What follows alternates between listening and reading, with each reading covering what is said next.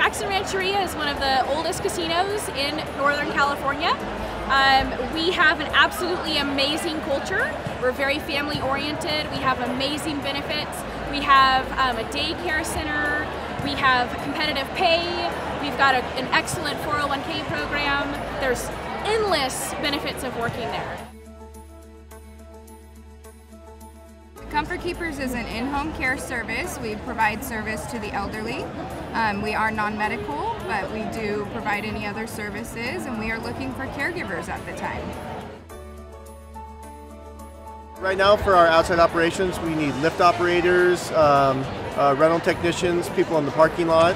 Uh, in the summertime, we're recruiting food and beverage employees primarily. A lot of destination weddings this summer, so we're looking for bartenders, servers, people to help with banquet administration. For a year-round full-time position, I'm looking for an electrician, um, a level two lift mechanic. Currently, we're hiring for park rangers, which is a great career if you're interested in public safety and natural resource management. And we're also hiring seasonal park aides, which work the entrance stations and help us manage the campgrounds.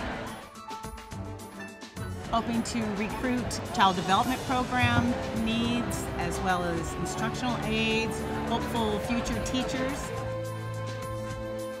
It's a great place to work, a lot of people connections, a lot of innovative things going on in behavioral health. Central Valley Autism Project in particular, they render services uh, for these children and even some adults. And so we need people with high school degrees to do certain work. We need people with bachelor's degrees to do certain work, and then masters as well. So our openings are, are very wide ranging. Evergreen and Rush Creek Lodge are both remote lodges on the edge of Yosemite. So the positions that we're looking to fill are usually housekeeping, uh, the kitchen, front and back of house. We also have a maintenance department and front desk. I think that these events are absolutely fantastic because this is where you can actually ask questions that you have about how to get jobs. Um, you can ask questions about what kind of benefits that they have, um, how can you go about applying, this is also an excellent opportunity to kind of work through some of those nerves, and it's it's really a great event to build relationships. There's a lot of opportunities available here in the county, in the Tri-County area.